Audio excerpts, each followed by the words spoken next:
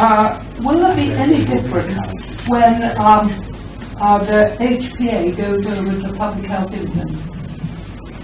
Um, not that I'm aware of. The decision about screening what is made by the National Screening Committee. Um, they decided initially, when they first looked at this 10 or 12 years ago, that they wouldn't recommend screening because at that time the UK had a, a relatively low rate of GBS compared with other countries.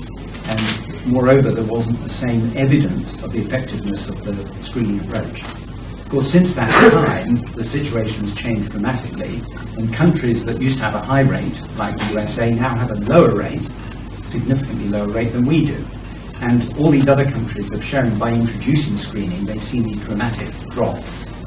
The problem is that the National Screening Committee um, says, oh, well, there haven't been any randomized trials in the UK.